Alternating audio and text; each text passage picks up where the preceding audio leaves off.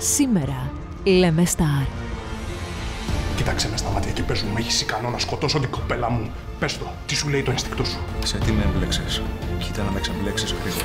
Εκεί που πάω να σας εμπιστευτώ, πάντα στο τσάκ κάτι συμβαίνει και κλονίζομαι πάλι. Είσαι διατεθειμένη να πολεμήσεις για να κρατήσεις αυτό το μωρό; Εάν όλο αυτό σκάσει πάνω μου, θα σε πάρω μαζί μου.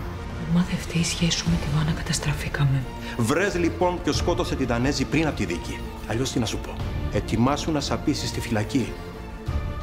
Εννέα μήνες. Σήμερα στις 6 παρατέταρτο.